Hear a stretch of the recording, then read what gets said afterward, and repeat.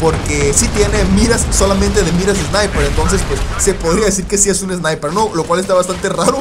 Vámonos de ahí, mira, en medio del fuego cruzado me crucé ahí como Rambo y me alcancé a salvar. Fíjate nada más qué clase, ¿verdad? Qué clase de escapada, ni el Chapo se las avienta así.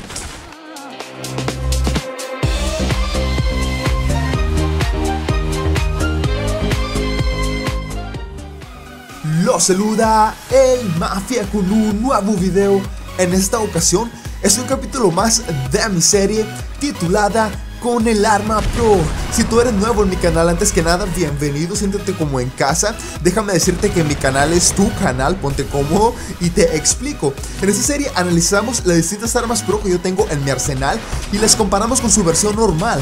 En el transcurso del video te estaré diciendo qué tal me parece el arma y si te la recomiendo o si no te la recomiendo y el por qué, por supuesto, muy importante. Esta es la serie más vieja de mi canal, la serie mítica que caracteriza al canal de Mafia Gameplays prácticamente.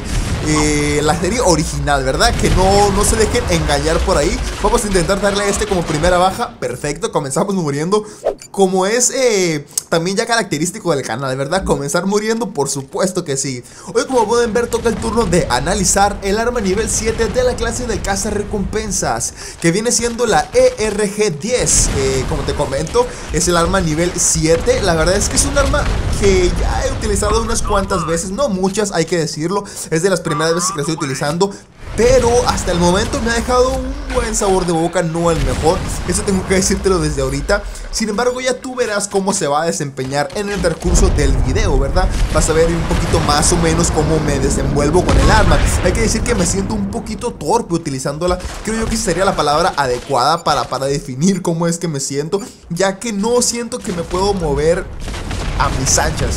Eh, creo yo que así es no sé si me voy a entender un poquito ahí, pero lo que me refiero es que no puedo desenvolverme a como generalmente juego. Ya tú te darás cuenta, ¿verdad? Que está perfecto. Eh, entonces, vamos a ver qué tal onda con el arma. Obviamente llevo el traje de legión, por, cuidado por ahí. llevo obviamente el traje de legión como es de esperarse, ¿verdad? Tú sabes que yo no me lo quito ni para dormir. Eh, entonces, pues obviamente no podía faltar, ¿verdad? No podía andar sin él porque no quiero morir acuchillado, ¿verdad? Que sabemos que por fin me pude librar de la maldición de los cuchillos y no quiero volver a ella, ¿verdad? Así que...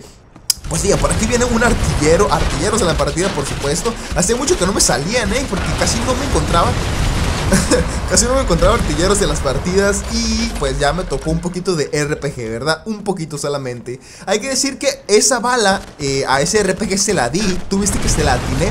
Sin embargo, no lo maté, le quité 80% solamente. Ya hablaremos un poquito de este, eh, de este cuchillero y de por qué no lo maté. Ya estaremos hablando también eh, un poquito en el futuro, ¿verdad? Por lo pronto decirte que no me acordaba que con la clase del cazarrecompensas se sacaban volver... Mira, y apenas que estaba diciendo que hacía mucho que no me tocaban artilleros, pues mira nada más una cucharada de, RPG me acabo de, tragar ahora mismo, ¿verdad? Ah, la verdad es que cuando me llegan a salir de esa gente yo siempre me salgo de las partidas porque no me gusta estar leyendo con ellos, sinceramente. Pero bueno, vamos a terminar la partida ya que estamos aquí, ¿verdad? Ya que estamos aquí. Al cabo que ni quería tumbar el reconocimiento, ¿eh? ok, entonces, eh, como te digo, no me acordaba que sacaban bombers tan fácil con esta clase. He de decirte que casi nunca lo utilizo prácticamente, la clase del cazarrecompensas. Eh, solamente la utilizo cuando voy a grabar. Y he de decirte que la última, eh, el último video que, que, grabé, que subí al canal con la, con la ERG, creo que era, EER, creo que así se llama el arma, este, que viene siendo la nivel 6, pues eh, desde entonces no lo he utilizado. Y he de decirte que con aquella arma solamente jugué dos partidas, las dos que subí al canal. Entonces, pues desde aquel entonces hasta ahorita estoy volviendo a utilizar el, el cazarrecompensas. No me gusta demasiado, hay que decirlo. Y ya después de utilizarlo tanto tiempo y después de que pasó el eufor del, del cazarrecompensas, he de decirte que ninguna de las armas de esta clase las cambiaría por alguna arma que yo ya me equipara antes. Eh, a lo que me refiero es que ninguna arma se me hace lo suficientemente buena como para añadirla a mis equipamientos. Al menos hasta el momento, ¿no? Hasta el momento. Entonces, eh, vamos a comenzar hablando un poquito de, esta arma que me estoy desviando del tema. Creo que estoy hablando de todo menos de la, del arma de la ERG. Entonces, vamos a hablar un poquito sobre los puntos buenos que le he encontrado yo a esta arma. Que son tres, pero tres puntos que son verdaderamente buenos. Y me funden otra vez con un RPG. ok, desgraciado. Eh, un punto bien importante y que la verdad es que es de los más diferenciales, creo que yo es el punto que más, más, más destaca esta arma, es en su increíble alcance. Sabemos que el arma, que la clase, perdón, del cazarrecompensas ofrece armas experimentales. Eh, obviamente, pues son armas un poquito diferentes, ¿no? Un poquito ahí, pues eso, para experimentar un poco, ¿no? Y esta arma, tal parece, dícese por ahí, las malas lenguas eh, afirman que es un sniper. Un sniper bastante, pero bastante peculiar. Por el simple y sencillo hecho de que prácticamente yo juego sin apuntar, lo estoy utilizando como si fuera una escopeta láser aproximadamente. Básicamente, no aproximadamente, básicamente. Entonces, pues es un sniper bastante peculiar, si es que sí es un sniper. Porque si tiene miras solamente de miras sniper. Entonces, pues se podría decir que sí es un sniper, ¿no? Lo cual está bastante raro.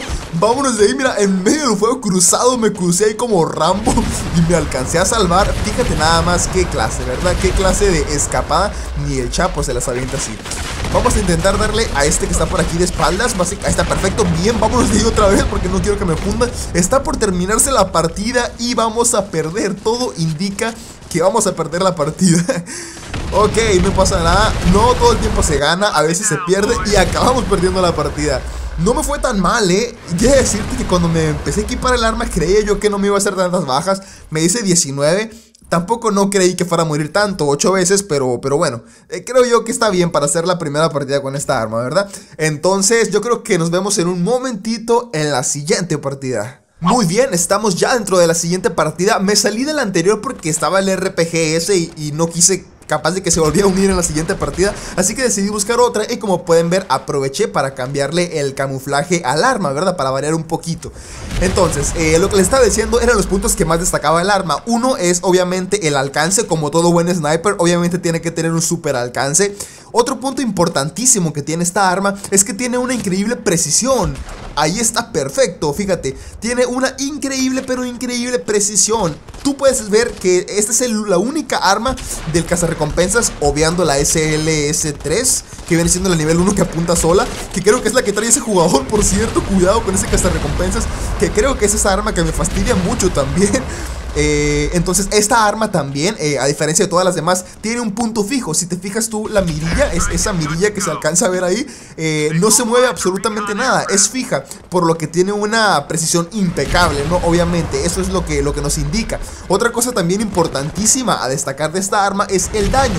Esos son los tres puntos más pero más fuertes de esta arma.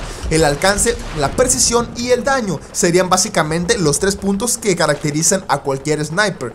Pero como todo en la vida nada es perfecto y esta arma también tiene algunos puntos malos. Al menos que yo he pues logrado mirar hasta el momento. Y uno de ellos es que tiene un cargador muy pequeño. Ah, he de decir que yo no tengo ahorita ninguna mejora del cargador. Sin embargo, aún así el cargador es pequeño. Al menos sobre el papel ¿verdad? Una cosa también importante, sabía que era la SL3. ok, otra cosa también importante a destacar es que tiene una cadencia muy, muy, eh, muy corta. No tiene mucha cadencia el arma, tiene poca cadencia. Como todo buen sniper. Vuelvo a repetir, cuidado con la doble que me acabo de aventar ahí. Excelente. Y nos sacamos ya el bomber nuevamente. Y el tercer punto flojo que tiene es la movilidad. Eso es lo que les decía al principio. Que me siento un poco torpe con el arma debido a que tiene muy poca movilidad. No puedo desenvolverme como me gustaría. Sin embargo, pues no es una movilidad tan, tan corta. Tiene menos movilidad que la mayoría de snipers. La mayoría de snipers tienen mejor movilidad que esta arma. Sin embargo, cuidado con esa granada que casi me funden. Vámonos de ahí si es que no me dan. No, me salvé, sí No o sí, sí, me salvé Ok, entonces esos serían los tres puntos positivos y los tres puntos negativos del arma También quiero aprovechar para decirte lo que cambia la versión Pro de la versión normal En la ERG10 Cuidado, perfecto y lo que cambia es que a la versión normal tiene más daño y tiene menos cadencia. O sea, que la versión Pro tiene más cadencia y tiene menos daño. Por eso es que al principio ustedes vieron, cuidado por ahí, mira, bala, bala, pero balas frías, como dice el Ferra. Eh, entonces por eso es lo que les decía al principio Ya vieron que, que disparé el artillero y le quité solamente 80% Eso es porque esta versión tiene menos daño lo que hace que no todo el tiempo mates de un solo disparo. Y ese es el punto más pero más flojo que yo le encuentro a la versión normal, por lo, por lo menos, ¿verdad? De esta arma me fundieron ahí con un poquito de lag. El lag ese es mío porque mi net no está muy bien que digamos. Eh, entonces ese sería el punto más más flojo que yo le he encontrado al arma Que no mata siempre de un disparo. Si es un disparo bien bien dado En el pecho o en la parte alta por ejemplo Sí, sí lo vas a matar. Sin embargo si es un disparo apenas o en una extremidad por ejemplo eh, Hay probabilidad de que no lo mates. Y eso pues es un punto súper flojo Porque si estamos hablando de que el arma tiene una cadencia muy mala Y todavía que tenga pues no siempre sea fijo que lo vas a matar pues a mí en lo personal me parece que no es muy conveniente, ¿verdad? No es muy bueno. Sin embargo, habría que pues seguirlo utilizando, ¿verdad? Mira, ahí le di, a ese jugador le di, eh, hizo hit marker perfectamente y no lo maté. Quién sabe a cuánto quedaría por ciento, pero de que no lo maté, pues no lo maté, eso es un hecho, ¿no? Cuidado, por aquí vamos a darle a este apoyo. Ahí está perfecto, bien. Ok, vamos 30-21, tal parece que esta sí la vamos a ganar. Cuidado que me están apuntando por ahí. Vamos a correr como locos por aquí. Vámonos, uf, ah, casi me matan. Me fui en el momento indicado. Sí, Me espero un segundo más y me funden lentamente, eh. Cuidado por aquí. Bien, ok. Ah, me estoy salvando, eh, me estoy excabullendo, excabullendo, eh, escabullendo Me estoy escabullendo ahí porque estuve cerca de morir dos veces, ¿verdad? Repetidas ocasiones Ok, entonces bien, la verdad es que es un arma que yo en lo personal no utilizaría debido a que me provoca una no muy buena seguridad Por el simple y sencillo motivo de que ustedes saben eh, que las armas que me provocan menos seguridad a mí son las armas que tienen cargadores pequeños Y obviamente la ERG pues tiene un cargador no muy extendido Combina un cargador no muy extendido con una baja cadencia Lo cual significa que tienes que tener una muy buena precisión para utilizar esta arma pues adecuadamente Cosa que el Mafia pues no tiene muchísimo, ¿verdad? No es como que mi punto fuerte, eso es lo que quiero decir, ¿verdad? No tengo la gran precisión Vámonos, uh, me salvé nuevamente Cuidado, mira, van a venir por aquí Estoy muerto, pero estoy muerto, pero le voy a dar batalla Vamos, perfecto, uno, dos, vamos, vamos Y me mataron ok, era mucho. Me sorprendí de haber matado a uno. Eh, obviamente no iba a poder contra los dos. Así que no pasa nada, ¿verdad? Entonces bien, está a punto de terminarse la partida. Yo creo que ya para finalizar vamos a espaldear a este A este cazarrecompensas un poquito ahí, perfecto. Y al de atrás, al de atrás no le doy Vámonos de ahí.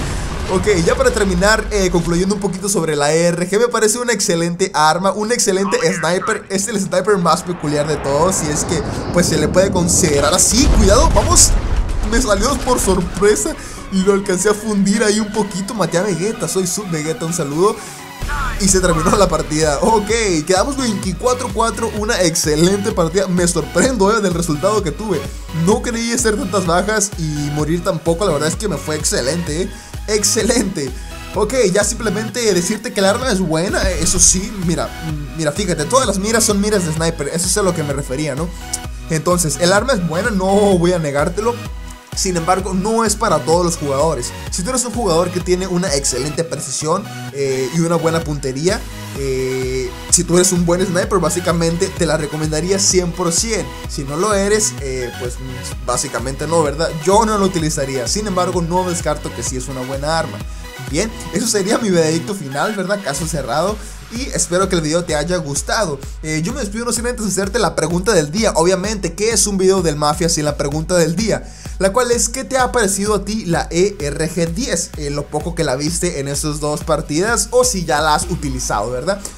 Dicho esto, espero que el video te haya gustado. Si es así, no olvides regalarme un like en la parte inferior del video y que te suscribas a mi canal para más contenido. Subo video todos los lunes, todos los miércoles y todos los viernes. No olvides compartir el video con tus amigos, con tus conocidos. Nos ayuda muchísimo a seguir creciendo. Recuerda que te habló el Mafia y nos vemos hasta el próximo video.